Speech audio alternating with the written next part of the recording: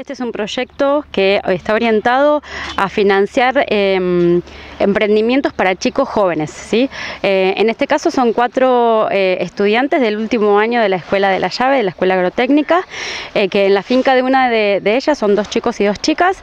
estamos trabajando para montar un invernáculo en donde se va, se va a empezar a, producir bajo el sistema de hidroponía. Uno de los objetivos como generales que tiene este tipo de convocatorias que financia emprendimientos para jóvenes tiene que ver con uno de los, digamos, como entender uno de los problemas que tenemos en no solamente acá, sino en otros lados también, que tiene que ver con el exo, Los jóvenes que muchas veces eh, en la finca de sus padres no encuentran eh, soluciones eh, de rentabilidad para ellos, cuestiones productivas que entonces, bueno, la idea es un poco eso, em, tener em, favorecer el arraigo de ellos, ya que están en una escuela que es agrotécnica, tienen conocimientos que tienen que ver con, con, el tema, entonces bueno, aprovechar eso, que ellos también viven acá, así que bueno, ese es el objetivo mm, eh, del proyecto. Eh, como todos saben, eh, hace muchos años que estamos con una situación bastante problemática con el tema del agua.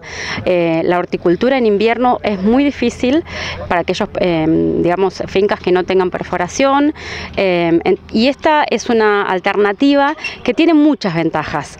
Mm, específicamente en lo que hace nuestra zona, el, tema del uso de agua es clave porque mm, lo que se hace es se usa una solución nutritiva en donde no se riega las plantas sino que se, utiliza un mínimo caudal de agua eh, y aparte no solamente que digamos lo relacionado a la necesidad de agua, sino también eh, es una propuesta más tecnológica. Los chicos sabemos que son una generación que vienen de la mano de la tecnología.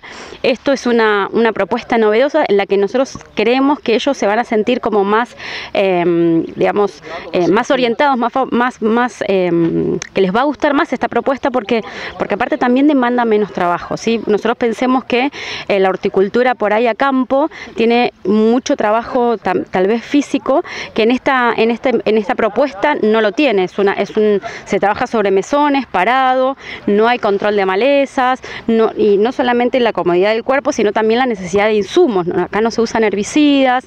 Bueno, tiene una serie de ventajas, la, verdad que nosotros creemos que en contextos como el nuestro va a ser muy viable.